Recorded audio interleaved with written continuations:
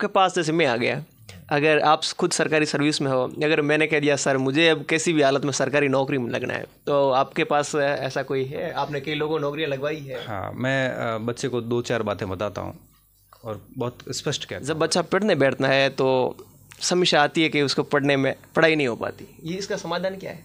देखो पढ़ाई अगर नहीं हो पाती है तो इसके पीछे कारण ये ये नहीं है कि बच्चे में एनर्जी नहीं है। बच्चे में ऊर्जा खूब होती है। सबसे पहली दिक्कत ये आती है कि बच्चा शुरुआत कहाँ से करे? जब उसको ये पता नहीं चलता कि स्टार्टिंग कहाँ से करनी है तो फिर वो स्टार्ट करता ही नहीं और वो उलझ जाता है कि कैसे पढ़ूँ, कैसे नहीं पढ़ूँ।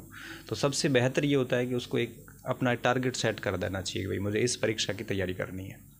जैसे वो टारगेट सेट करेगा तो उसके बाद में उस परीक्षा का सिलेबस देखेगा उस परीक्षा से संबंधित कुछ जो सेलेक्टेड लोग हैं या जो अनुभवी लोग हैं, उनसे बात करेगा, फिर उसके अनुसार पुस्तकें लेके फिर पढ़ना शुरू करेगा तो धीरे धीरे शुरू हो जाएगी।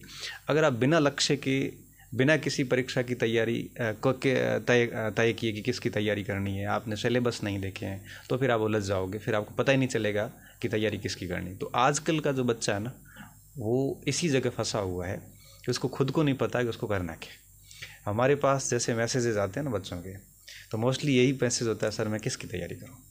लेकिन ये प्रश्न जो है ना, ये बड़ा यूँ कहिए कि गंभीर प्रश्न है ये, क्योंकि आपको किसकी तैयारी करनी है, ये आपको तय करना पड़ेगा, क्योंकि आप में क्या क्षमताएँ हैं, आपकी स्ट्रेंथ कहाँ है वीकनेस कहाँ है, आपको कौन सी चीज़ें अच्छी लगती हैं, आपका नेचर कैसा है इसके अकॉर्डिंग बच्चे को खुद को तय करना चाहिए कि भाई मुझे किसकी तैयारी करनी है। ये करने के बाद में आप पढ़ाई अपने आप शुरू हो जाती है। आपने ठीक बात कहा। सर जैसे अब मैंने मान लीजिए या किसी बच्चे ने अब बारहवीं की है साइंस से या आर्ट्स से तो अब उसको करना क्या चाहिए? वो कन्फ्यूज़ हो जाता है रास्ता ऐसे भटक जाता है। कहाँ क्या करना चाहिए? नहीं देखो ऐसा जैसे जैसे मैं कह रहा हूँ कि मैथमेटिक्स से उसने ट्वेल्थ कर लिया या बायोलॉजी से कर लिया। तो उसने ग्यारहवीं में जब साइंस लिया था ना तो उस समय उसने उस समय सोच लिया होगा। कि मैं मैथ्स ले रहा हूँ तो मुझे कहीं ना कहीं आईआईटी वगैरह की प्रिपरेशन करनी चाहिए जेई आईआईटी e की। साइंस ली है और एक्स्ट्रा ऑर्डिनरी बच्चे हैं तो मेडिकल्स की तैयारी करनी चाहिए। अगर इस लक्ष्य के साथ उसने एलेवंथ में साइंस लिया है तो वो बारहवीं के बाद अपने उसी लक्ष्य के लिए काम करेगा। अगर परसेंटेज टेंथ में अच्छे से और घर वालों के कहने पे साइंस लिया है तो मेरा मानना है कि उसको साइंस छोड़ के वापस कला वर्ग में आ जाना चाहिए।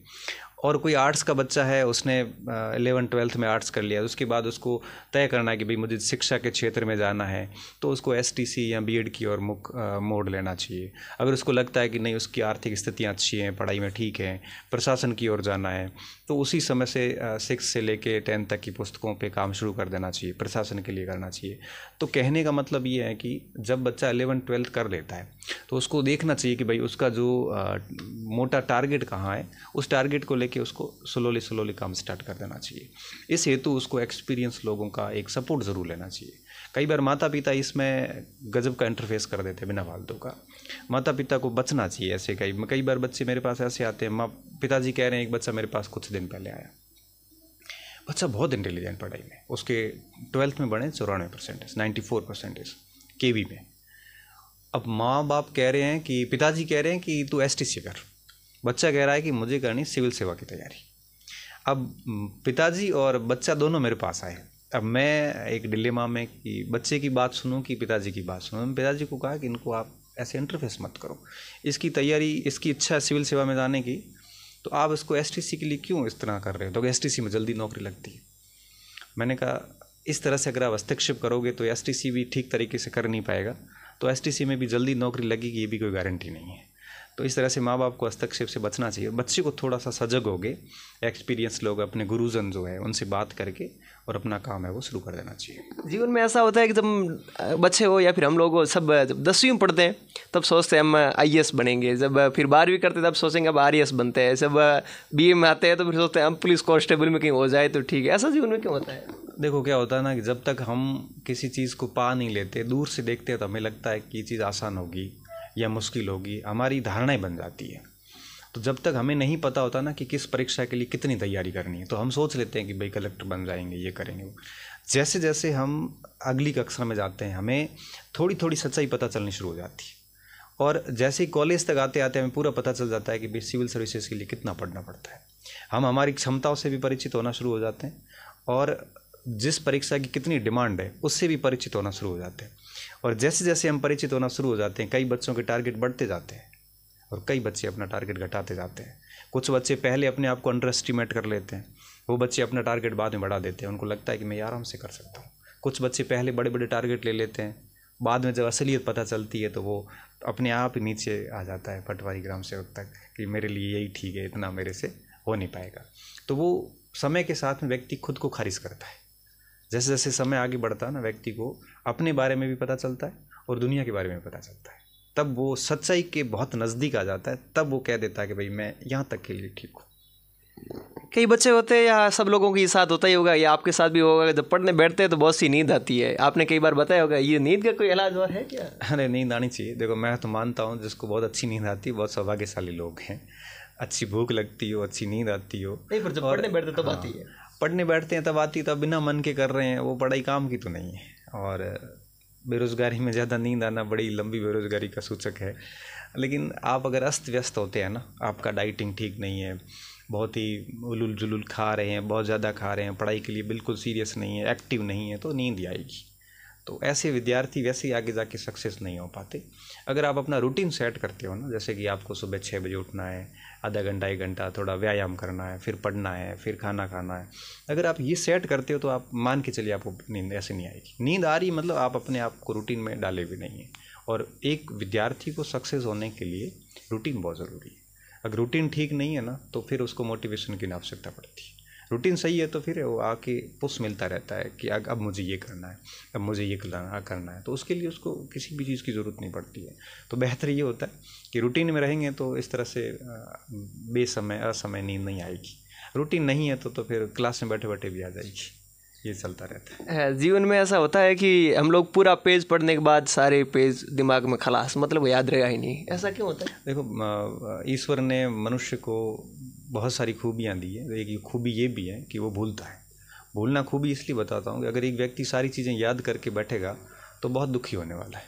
क्योंकि पास्ट में कुछ ऐसी घटनाएँ भी होगी जो वो भूलना चाहता है। क्योंकि केवल पढ़ाई ही जीवन नहीं है, पढ़ाई के इतर भी बहुत बड़ा जीवन है। तो हमारी जो स्मृतियाँ हैं, बहुत जल्दी विस्मृत होती है। ये बहुत अच्छी बात भी है। और पढ़ाई की अगर मैं बात करूँ तो आप अगर भूलते हैं तो ये कोई नई बात नहीं है। मैं भी भूलता हूँ, सब भूलते हैं। उसकी रिक्वायरमेंट ये है कि पढ़ने के बाद अगर समय समय पर, दो सप्ताह, तीन सप्ताह, चार सप्ताह बाद में प्रॉपर रिवीजन किया जाए तो हम भूलते नहीं क्योंकि मस्तिष्क अगर एक ही चीज़ को याद करके बैठेगा, आप सोचिए कि अब तीस पैंतीस साल के हम हो गए हैं। हमें अगर सभी याद रहता तो इतनी घटनाओं को, पुराने वाली घटनाओं को सोच सोच के हम तनाव में चले जाते। तो भूलना तो एक मानव की विशेषता है। और परीक्षा में इस समस्या से निजात पाने के लिए एक ही उपाय है कि उसका कंटेंट का आप कितनी बार बढ़िया रिवाइज करते हैं? तो पाँच छः बार रिवाइज होता है तो फिर हम बोलते नहीं। फिर परीक्षा पास करने जैसी स्थिति बड़े आराम से आ जाती है।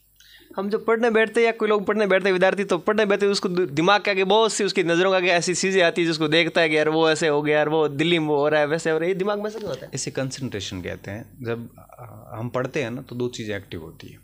एक आँखें होती है एक मस्तिष्क होता है। आँखें क्या करती है? पुस्तकों की लाइनों को पढ़ती है। और मस्तिष्क उसको आत्मसात करने का प्रयास करता है। जब हम पढ़ रहे होते हैं तो आवश्यकता इस बात की होती है कि हमारी नज़रें और हमारा मस्तिष्क दोनों एक जगह हो। हम जैसे ही भटकते हैं, अब मस्तिष्क और नज़रें दोनों एक जगह होती है, तब हम उसको एकाग्र चित्त बोलते हैं कंसंट्रेशन बोलते हैं।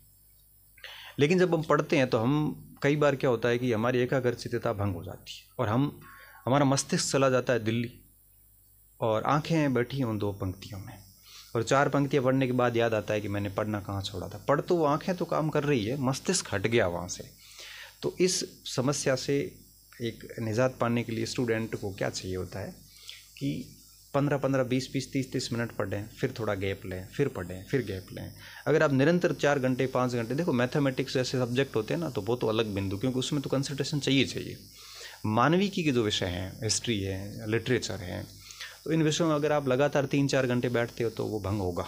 तो बेहतर ये होता है कि आप आधा घंटा, बीस मिनट, तीस मिनट पढ़े, फिर आप थोड़ा सा घूम के आ जाओ, फिर पढ़ लो। और ऐसे ध्यान भटकता है, उस समय वापस ध्यान को वहाँ लगाने की कोशिश। ये एक सतत अभ्यास है। देखो, इसमें कोई टैबलेट काम नहीं करती, इसमें कोई मोटिवेशन काम नहीं करता। आप निरंतर अगर इस चीज़ का अभ्यास करते हैं तो आप में कंसंट्रेशन पावर गज़ब का आ जाता है। अब मैं खुद, मैं बताऊँ, मैं पढ़ने बैठता हूँ ना तो जैसे एक डेढ़ घंटे बड़े आराम से पढ़ लेता हूँ फ़ोन साइलेंट करके पढ़ ले। मेरा ध्यान कहीं नहीं भटकता, क्योंकि ये एक लंबा अभ्यास हो चुका है कि मैं टेबल पे बैठूँगा ना तो फिर मेरे मस्तिष्क में केवल वो पुस्तक रहेगी। बाकी मैं नहीं सोचता कि मुझे अब आगे कहाँ जाना है, क्या जाना है, कैसे जाना है, कब कार्यक्रम है, क्या है आता जाता रहता हूँ। तो ये चीज़ें मस्तिष्क मेरे नहीं आती, क्योंकि अभ्यास हो चुका है कि वहाँ बैठूँगा तो फिर वही काम होगा। ये चीज़ें अभ्यास से बच्चों में आ जाती है।